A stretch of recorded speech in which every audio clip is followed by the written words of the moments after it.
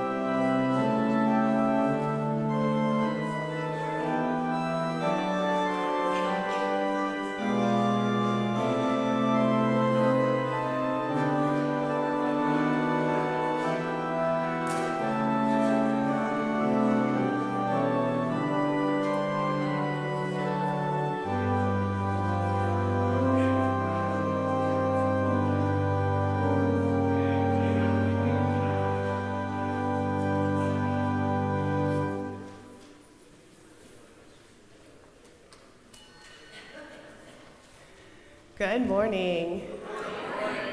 Welcome to all of you here in person and those worshiping with us online. My name is Reverend Lauren Radzik, and I am one of the pastors here. If you're joining us in person, masks are optional, and we give you thanks for all that you do to care for one another. Today, you'll notice our front pew is empty, and that means that Charlie, Charlie Tobias, our minister of congregational care, is not with us. Don't worry, he's alive and well, and he is actually in Columbus celebrating Harrison's first birthday. So we wish Harry a happy birthday, and we wish Grandpa and Grandma lots of snuggles and fun time. That means if you are joining us in person and you have a prayer request you would like to share, you'll need to come and bring it up front to me today during one of our hymns. Or you can just leave it in the back and we'll collect them and put them on the prayer list per usual. If you are joining us online, we don't have a person who's recording those things today, but I promise you we will record those and share those on our prayer list this week.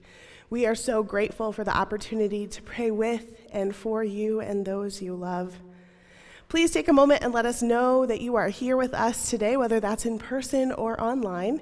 In person, that means that there are red books in the ends of your pews on either end. We'd love for you to sign your name and fill that out and pass it along to your neighbors, ensuring that those make it back to the center or outside aisles. And if you really want to be helpful and rip out the sheet once your row is completely done with that, that would be helpful for our volunteers who go and pick those up after church. Today, we welcome our musicians Amy and Ashley, who are helping to lead us in worship today. We give thanks for their talents that are here with us. I also want to let you know that we had a successful interview with a music and choir director person this week, and we are inviting him back. His name is Emilio, and we are inviting him back on May 19th to rehearse with the choir and do an audition interview. So, if you would like to sing, if you've ever sung before, if you've never sung before, and you would like to be a part of the choir, we would love for you to come and pick up some music. Susan Hose will have that available and have all the details. That rehearsal will be at 7 o'clock, and we'd love for you to come and sing and rehearse with the choir and check out Emilio and uh, before we make our final decision. And for the rest of us, we invite you to pray that that continues to be a successful opportunity. Friends, following worship today, we invite you to the Holbrook Room for coffee and donuts and fellowship time. There's all kinds of wonderful and lovely things there. And the monies that are collected will go to our new special project fund, which the United Church Board, Unified Church Board, will be able to collate into something that benefits the community here. So, friends, we are grateful for your presence in worship today. We look forward to seeing what God will do and how God will move among us today. And we invite you to stand and join together in our call to worship.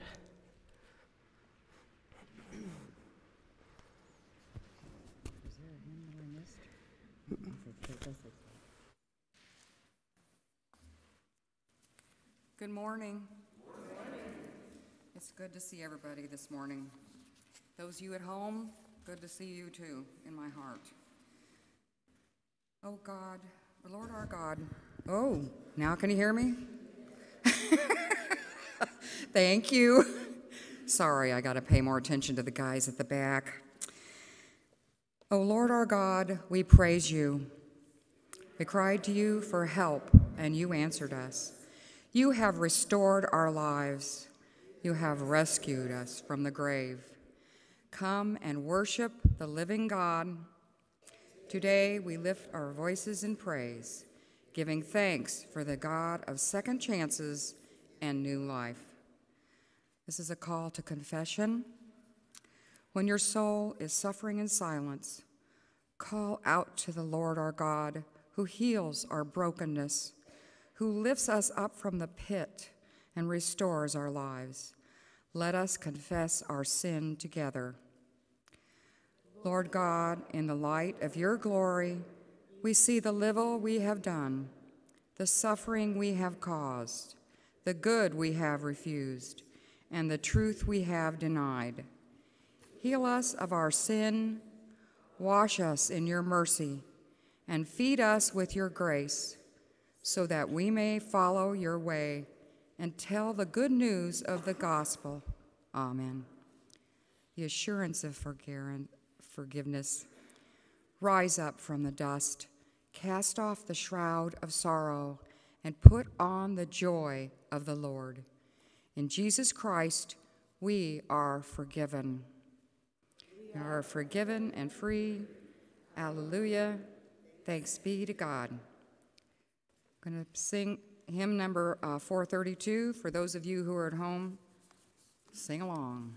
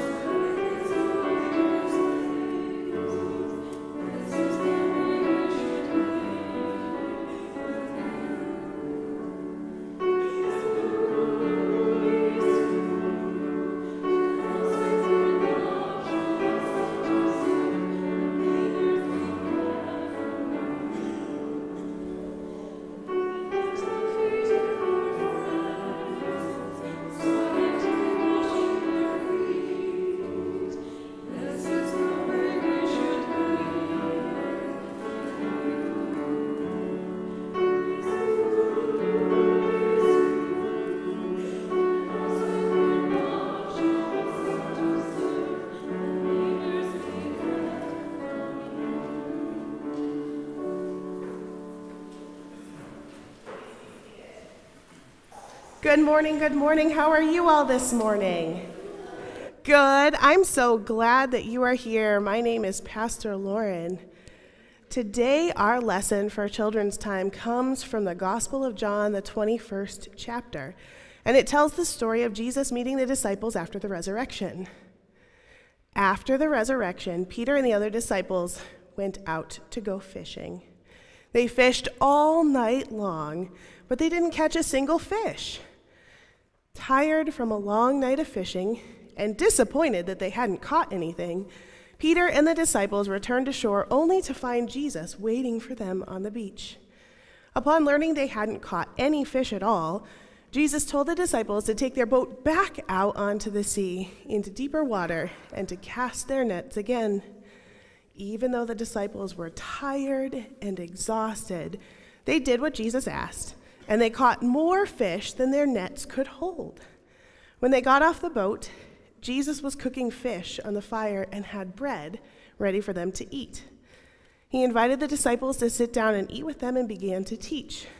He talked especially to Peter, who had denied him three times.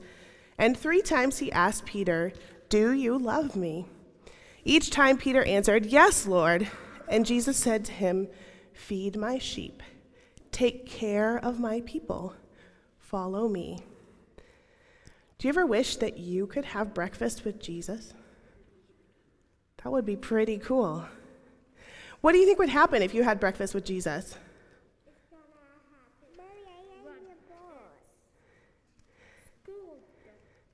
It's good. Yeah, absolutely. Do you think you'd have lots of questions for Jesus? Yeah?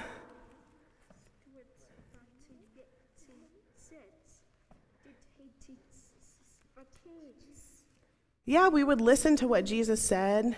We might ask him questions. We might want to know if he really loves us, right? That's what the first disciples wanted to know when Jesus met them on the beach for breakfast. Peter was a little bit sad that he had denied Jesus three times. He felt really bad about that. And so Jesus came up to him and he met him exactly where he was. And he told him exactly what he needed to hear. He said, Peter, do you love me? And Peter said, Yes, of course, Jesus, I love you. And then he said, I have a special job for you. The special job is to take care of my people. And Jesus said that in a funny way. He said, Feed my sheep or take care of my lambs. What Jesus really meant was, Peter, your special job, and all of us, our special job is to go out and take care of each other, to make sure people have food and clothes, to make sure people know about God's love, to make sure people know about Jesus. The good news is that Jesus always meets us wherever we are. So this week, I want you to make a list of the things that you might ask Jesus and the things that Jesus might ask you if you were to have breakfast together. And when you're done making that list, either in your head or on paper with a picture or with words, share it with an adult in your life. It could be me, it could be your Sunday school teachers, it could be your parents or caregivers or family members. Share that list, and we would love to talk about some of those questions you have. Could we pray a repeat after me prayer together? Let's pray. Dear God, thank you for loving us and for sending Jesus. Thank you for meeting us right where we are and inviting us to follow you. Give us courage to say yes every day. Amen. Thanks for coming in, guys. You guys will get to go back and do some Sunday school, and we will see you back for communion. Yes, what's the book for today? James. James is a great book. Awesome. Thanks for coming in, guys. Yes. The disciples? Mm-hmm. You. You are a disciple. Absolutely. All right, thanks for coming in, guys.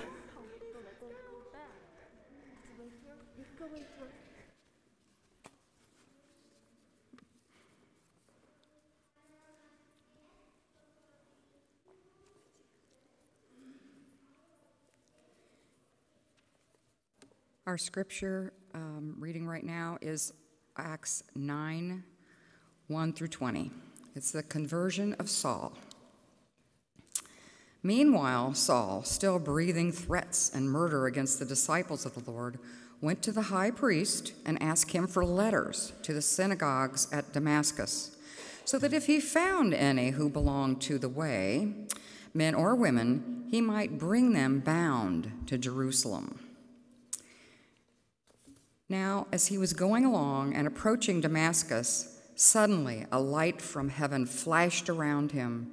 He fell to the ground and heard a voice saying to him, Saul, Saul, why do you persecute me? He asked, Who are you, Lord? The reply came, I am Jesus, whom you are persecuting. But get up and enter the city, and you will be told what you are to do.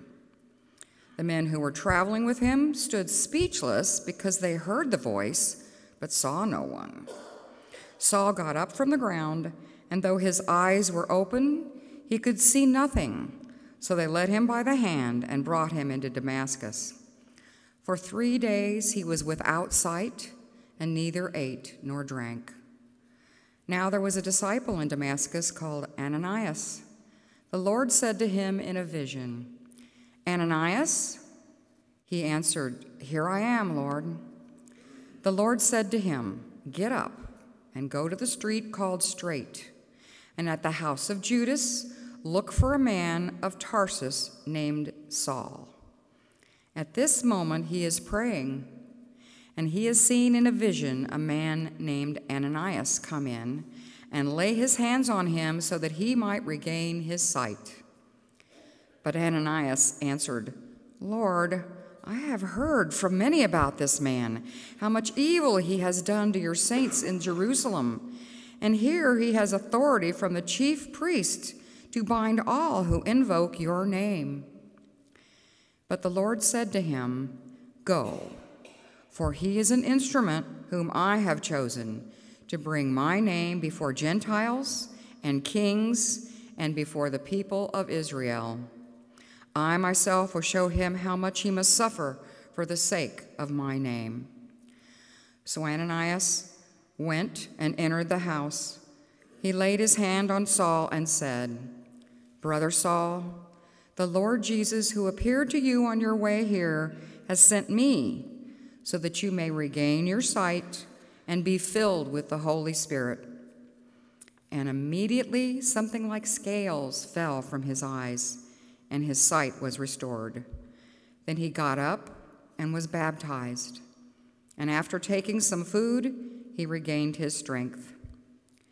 For several days he was with the disciples in Damascus. Immediately he began to proclaim Jesus in the synagogue, saying, He is the Son of God. Our next home, hymn is Lord, You Have Come to the Lakeshore, number 344.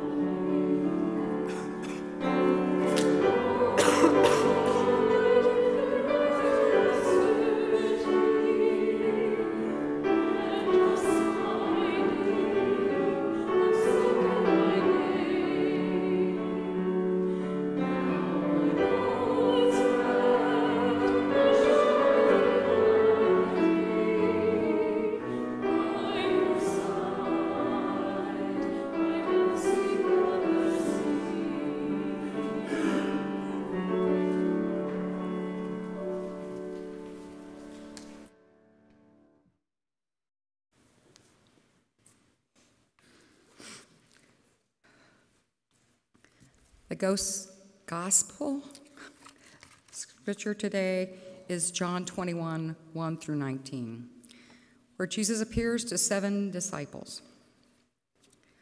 After these things, Jesus showed himself again to the disciples by the Sea of Tiberias, and he showed himself in this way. Gathered there together were Simon Peter, Thomas called the twin, Nathanael of Cana in Gal- Galilee, the sons of Zebedee, and two others of his disciples. Simon said to them, I am going fishing. They said to him, We will go with you.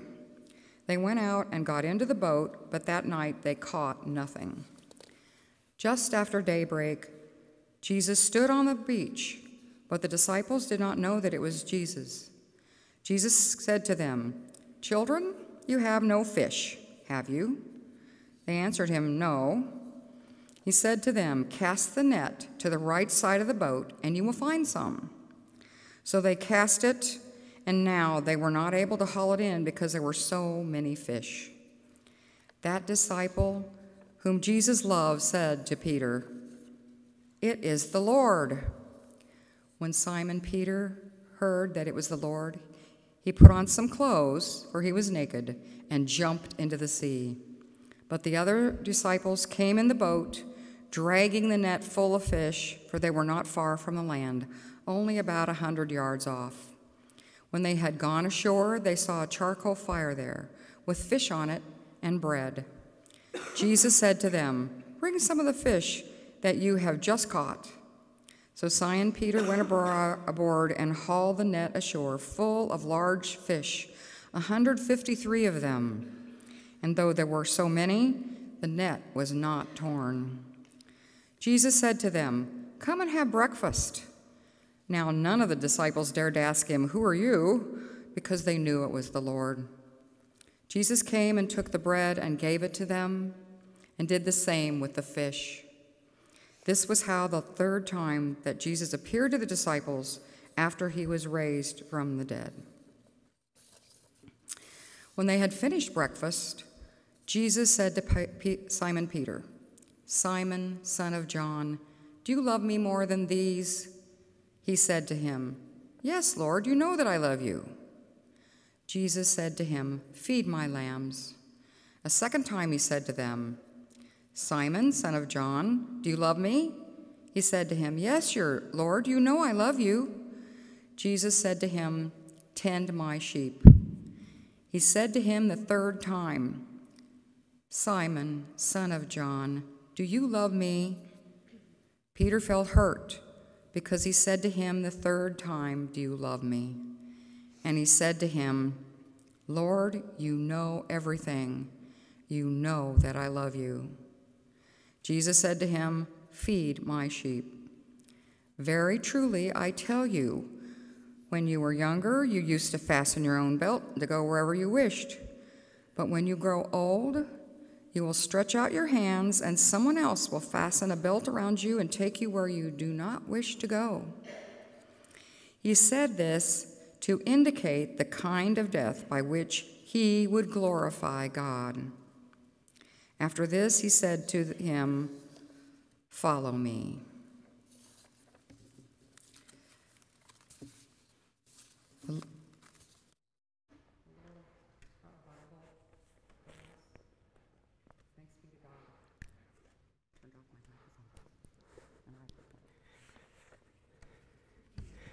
Friends, let's pray. Loving God, you have gathered us today to remind us of your love sent to us through Jesus. Today we come to worship, longing for your presence to be real in our midst. So come, Holy Spirit, open our eyes to your grace around us. Teach us to be compassionate, always working for justice. Lord, we love you, and you ask us to feed your sheep to care for others that you have placed in our paths, to go out and share the good news, to be your disciples. May our worship today empower us to do just that, and may we go forth from this place singing your praise and sharing your love and hope with each person we meet. In the name of the risen Christ, we pray. Amen. If there were an alternate title for today's gospel lesson, I might title it Breakfast on the Beach. The beach is one of my favorite places. There's something about the smell of the air and the crash of the waves on the shoreline, the warm, hopefully, sand beneath my feet that connects me to God. In fact, I'm quite sure that if Jesus needed to tell me something really important, he would do it when I made my way to the water or to the beach. Perhaps my fascination with sand and waves stems from the fact that I grew up about an hour and a half south of here, not close to any body of water that really had waves. Yes, yes, Lake Erie was not that far away, but we never went there.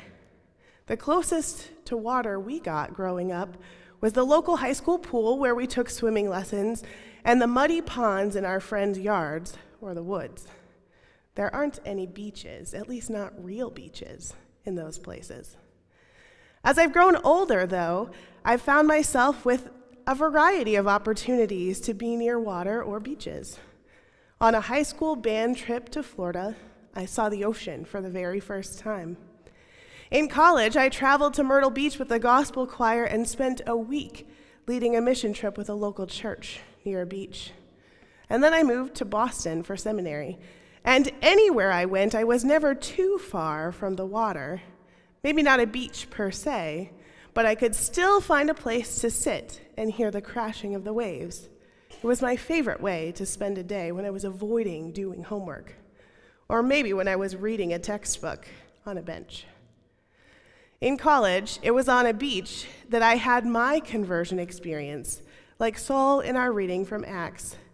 After deciding and running from God's call that I received as a youth at summer camp, and deciding that music therapy wasn't my ultimate career path, I dove headfirst into the field of psychology. By the time I reached the end of my sophomore year, I had firmly decided that I was going to be a professional mental health counselor and I'd oriented my psychology degree and coursework in that way. But with two years left in school, God turned my plans upside down on a beach in South Carolina. I was there with a pastor who was mentoring me and a few other adults and a bunch of youth co leading a mission trip. We spent that week learning about God and learning about each other. We worked hard with chainsaws and brute strength caring for a home that had experienced some significant tornado damage, and we helped re roof a house. Those are skills I didn't continue to have. It's one of those things you do it when you're in it, and mostly I spent my time on the ground chopping up wood. It was in the middle of that summer, and it was hot. And one night, when we finished our work for the day, we decided to make our way to the beach. It was late, so we did our evening devotions with the roar of the waves in the background. And at the end of our worship, it was dark. I don't know if you've ever been on a beach in the dark, but there's something captivating and peaceful about the sound of the waves. When we looked out over the water, we could see nothing but water and a sky full of stars. It was beautiful. And kids being kids and it being summer and hot, the kids asked us, can we go play in the water? So we agreed, and off they went, splashing and giggling about how cold the water was and how good it felt.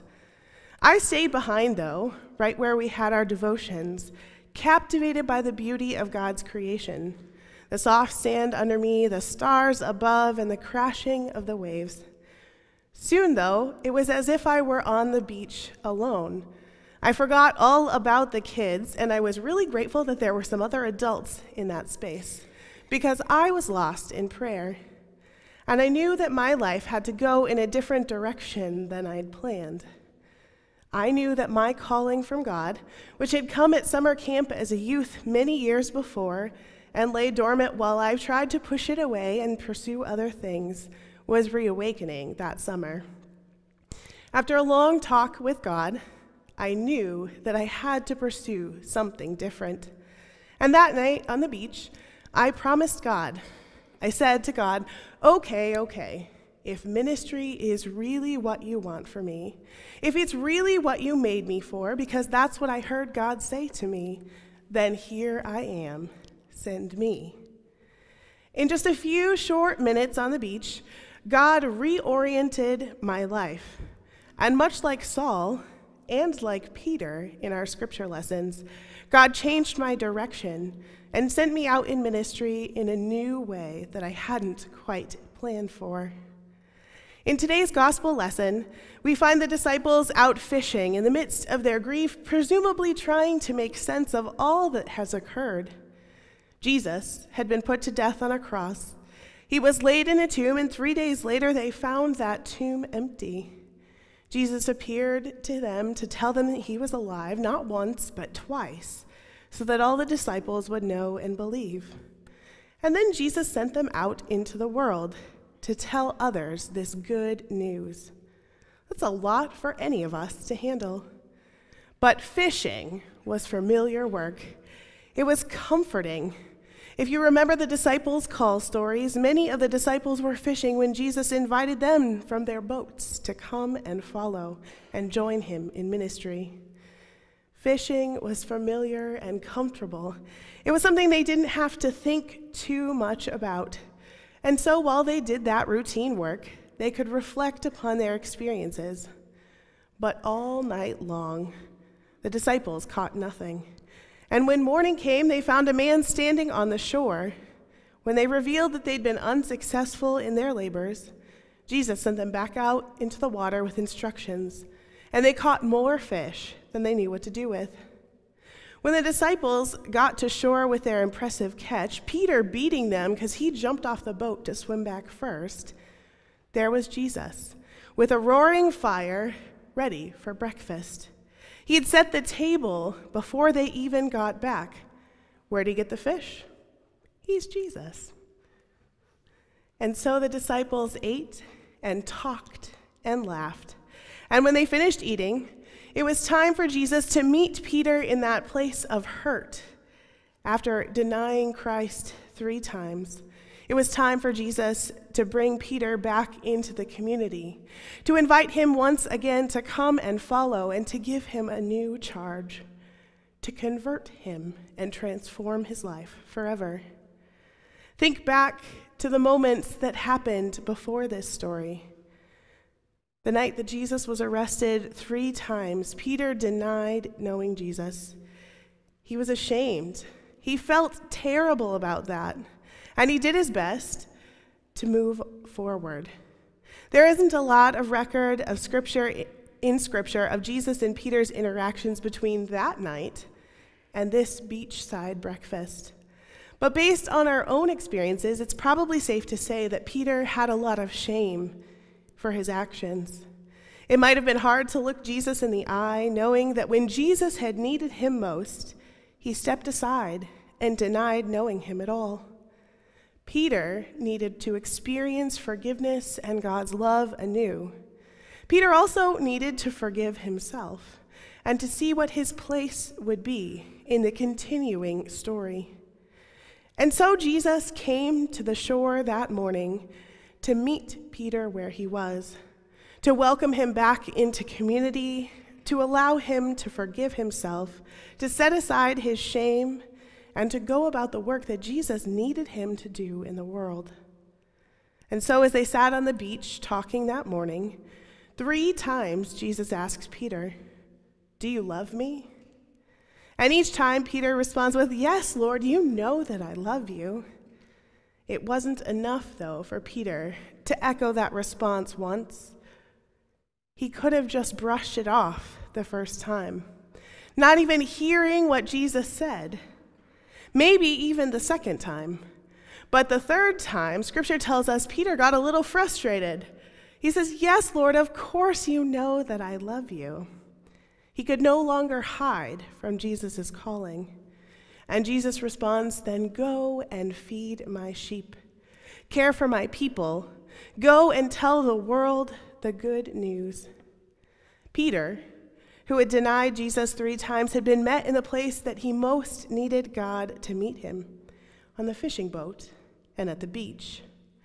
Peter, whose shame at denying Jesus had prevented him from living the way that Jesus wanted him to, was met with so much love that the God of second chances came and allowed him to forgive himself, to experience conversion and transformation, to love and live as a disciple once again. It's not an accident that scripture tells us Jesus asked him three times. It's on purpose. One for each of those times that Peter denied who Jesus was, and one for each of the times that calls him to go forward, to take the experiences that he had and to move out into the world, to build the church and care for people. Though Peter and all of us have fallen short and sinned and done what we swore we wouldn't do, Jesus gives Peter another chance. And Jesus gives us another chance, and another, and another, reconciling us with love to go out and serve and follow and feed God's sheep. When I think about this story, I'm struck by the ways that Jesus shows up in the disciples' lives. He meets them exactly where they need to be. He goes and finds them and searches them out. Last week, when we talked about Thomas, Jesus met him in the upper room behind the locked doors, even though he'd already been there, even though all the other disciples had seen. Thomas needed Jesus to meet him there too, and so he does. Peter, a fisherman by trade, in his grief, even though he's seen Jesus, is still worried about this denial, wondering what's next. And so he goes out fishing. And that's exactly where Jesus meets him as well. He cooks him breakfast and offers up a big heaping plate of love and forgiveness on that beach. In our story from Acts today, Saul, who had been persecuting Christians, is met on the road by Jesus, blinded for a few days, because that's what it took to get his attention. And then, as a result, he gets a whole new name and a new identity. He turns his life 180 degrees around, and instead of persecuting Christians, he becomes a great missionary of the church, dedicated to building the church and telling everyone he could tell about the good news of God's love. It's amazing the ways that God shows up to meet us right where we need God most. I met God on a beach in South Carolina, right at the middle of my college career, where I needed to make some decisions about what was next for me. Though that experience was not as dramatic as Paul's, it did change my life and reoriented my trajectory. God comes to God's people to change their lives and to transform them. God meets us in the places where we need God most. For Peter, it was on the beach. For Paul, it was on the road. For me, it was in the crashing waves and the starry night sky next to the ocean. God always shows up in unexpected places so that we might be brought back into community, transformed by love, and sent out in mission to the world. The questions that Jesus asks Peter in our gospel lesson today are the same that he asks of us Friends, do you love me? And when we say, Yes, Lord, of course we love you, we're doing our best. Jesus says, Then go. Go out and tell the story of my love. Go out and build the church. Go out and be a friend and a neighbor and a family member. Go out to meet the needs of a friend and of a stranger. Go out to build community and to bring others in as you tell them about this amazing God that we serve. Friends, God is here in our midst, calling us to live lives filled with love and transformation, called from the places where we find ourselves now to a new and exciting adventure that only God knows. We are called from one thing to the next from where we are now to where God wants us to go. If only we're willing to say yes, to go and feed sheep, to care for people, and to follow Jesus. Friends, as we meet Christ in our worship today, as we meet Jesus at the communion table, our own breakfast of sorts, though I'm sorry I don't have a beach for you, our scripture messages beg us to take a good look at our lives to pay attention to the places that God is calling us.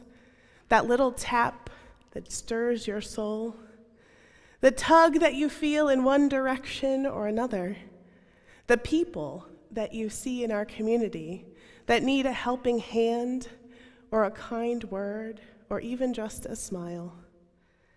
Christ is inviting us to go out and to tell the good news, to follow Jesus into places where we've never gone before and places where we never thought we would go.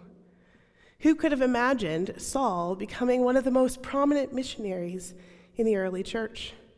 Who could have imagined Peter, after denying that he even knew Jesus three times, becoming the rock on which the church is built?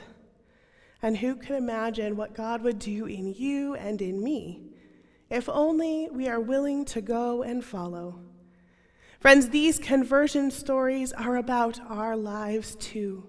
They're about the ways that God shows up, meets us where we are, gives us a hug, embraces us, and sends us forward into the world. So, friends, may we open ourselves to the possibilities that God has for us. May we open ourselves to transformation as we seek to become better disciples each and every day. Amen. Friends, I invite you to join me in singing You Satisfy the Hungry Heart, number 629 in your hymnals.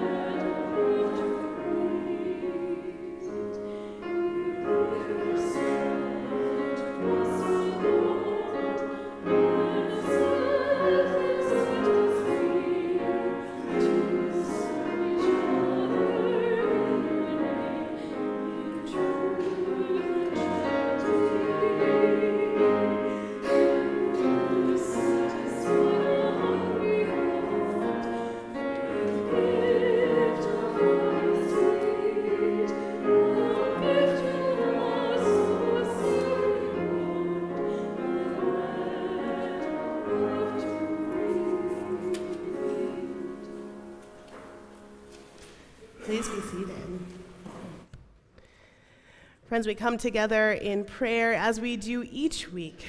And for those of you who are here in person, you have your purple prayer sheets in your bulletins. Those of you who are online may have had them emailed to you. And if anyone online or in person has not received those things and would like to, please let us know in the church office. A couple of things to highlight this morning. We lift up prayers for Penny Hedman, a friend of Dina Svoboda, who's dealing with health issues for Mark Bauer, also a friend of Dina, who's been diagnosed with blood cancer. We lift up prayers of thanksgiving for Roy and John Gleason, who have returned home safely from their trip. We continue to lift up prayers for Carlene as she is finished with her treatments. We lift up prayers for David DeShong's family, who passed away on Friday, April 22nd in North Lima, Ohio. That's Naomi Harris's nephew. For John, Johnny Haddix, John and Judy Haddix's son, who was diagnosed with COVID and who is doing a little bit better. We continue to lift up prayers for baby Sebastian, who's a newborn and newly adopted son of Kent, Matt and Bradley, co workers of Kent Shelco, who was born with cocaine and fentanyl in his system. For Lorna, who is doing finals, is she done? She's done and she's home. So we celebrate with her, hopefully, the successful finals and final papers that she has completed and uh, some wonderful rest and respite. But we also pray for her because she's developed a whole new family at school and she will miss them while she's home, even while reconnecting with folks who are here. We lift up Bob, a friend of Dale and Cindy Leppo, who died this past week, and Scott Crudson, Marilyn Napwalco's son, who is cancer free, and we celebrate that. We also give thanks for a successful surgery for Rita Clyburn, who was here at some point this week, and so we give thanks for that. I give thanks to our tech team who has been running things in the back and writing prayer requests from our folks who are online. John Hayes, who is not here with us, asks for prayers for his dad, Dwight, who, has been mo- who is being moved to a memory care facility. Um, his dementia has reached a point where he can no longer provide for his needs in his current facility.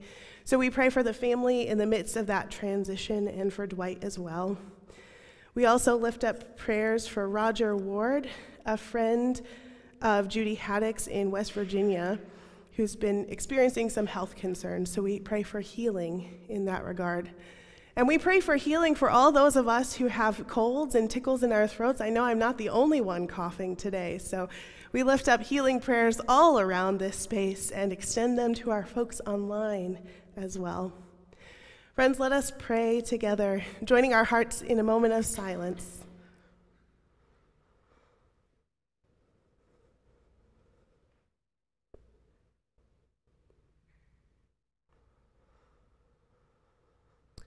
Holy God, we come before you in prayer this morning, asking you to hear our prayers as we continue to listen for your call.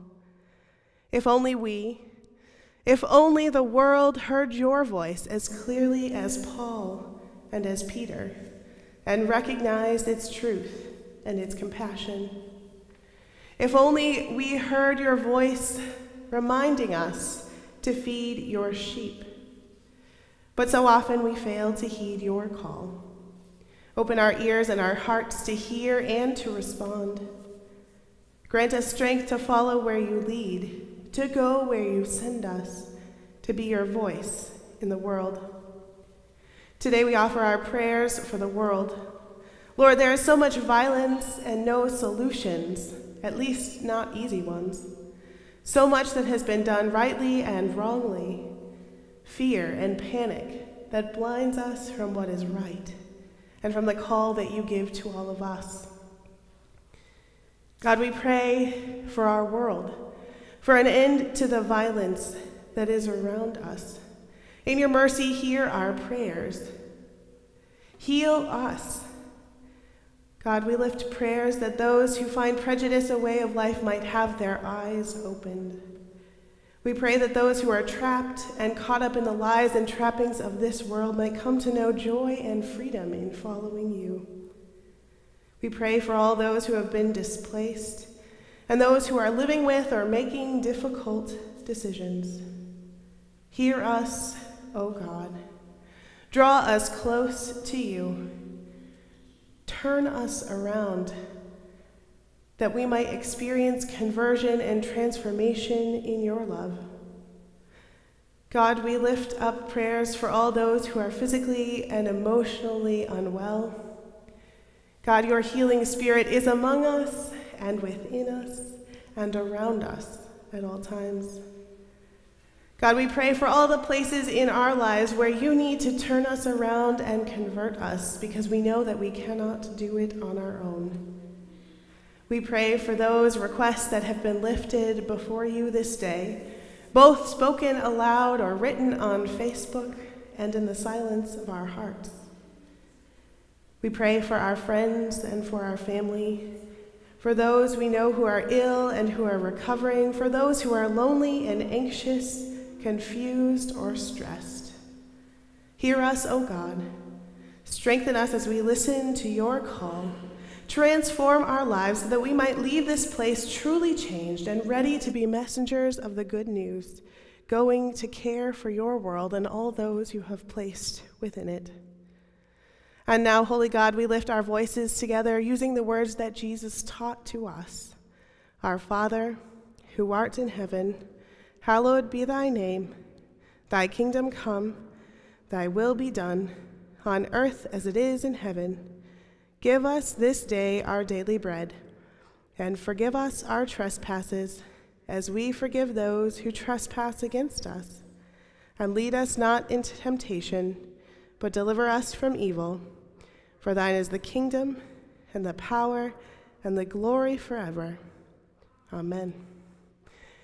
Friends, God has given us so many good gifts, and we give thanks to God, acknowledging that everything that we have is first a gift from God. And so today we lift our hearts to God as we listened to our offertory.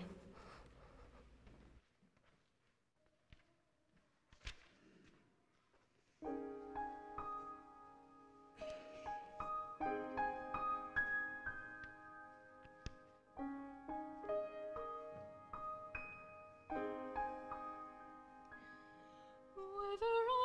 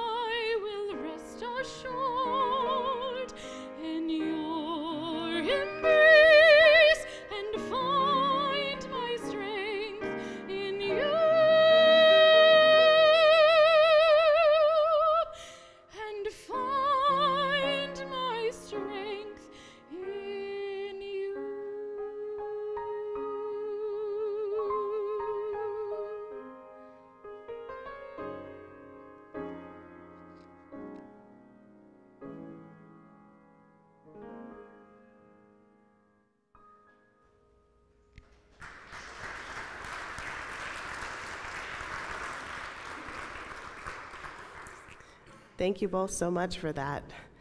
Friends, I invite you to join me in our prayer of dedication. Worthy are you, O God, to receive power and wealth and wisdom and might and honor and glory and blessing.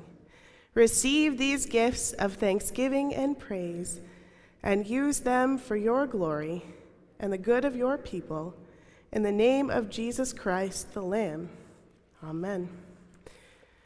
Friends, we are going to take communion now. If you have not yet picked up your little communion elements from the back, we encourage you to do so now. Roseanne is standing in the back with them just in case you need one. It's also a great time to peel off that top wrapper and expose the little wafers there and the foil wrapper and expose your grape juice. But I do ask that you hold on to those things until all can receive together, and I will instruct you on when to do that. We're going to join together in the liturgy beginning on page 16 in your bulletins, or 16 in your hymnals, and it will start in the middle of all the red text that the pastor says there. Friends, God is with us.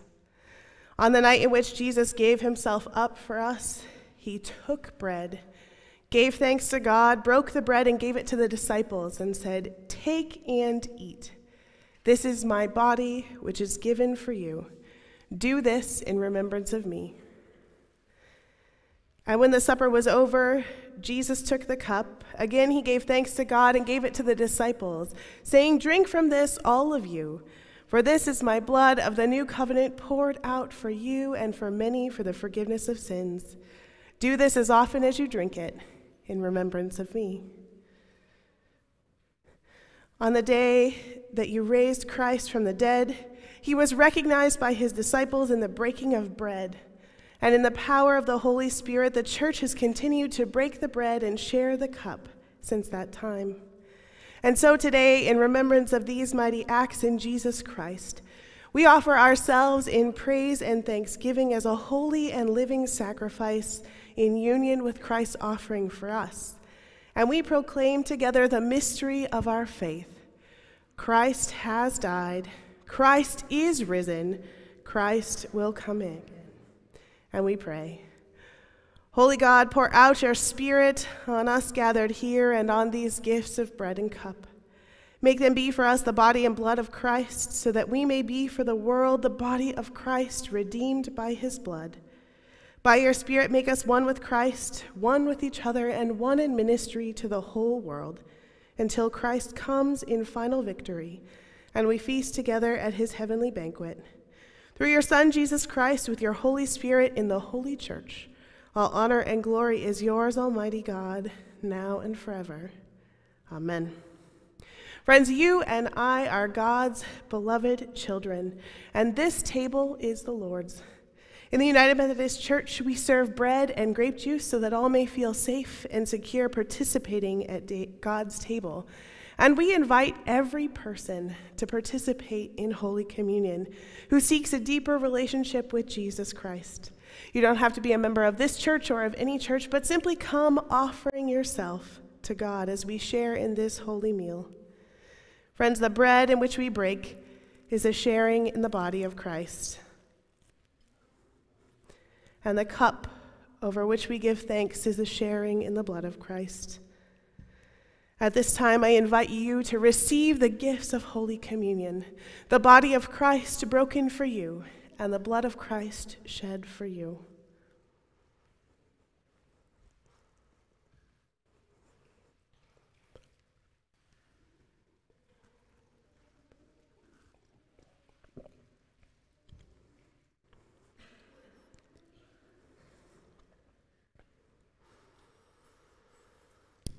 Let us pray. Eternal God, we give you thanks for this holy mystery in which you have given yourself to us, meeting us right where we are. Grant us the courage to go into the world in the strength of your Spirit, to give ourselves for others, to feed your sheep and care for your people and follow you wherever you lead us. In the name of Jesus Christ our Lord. Amen.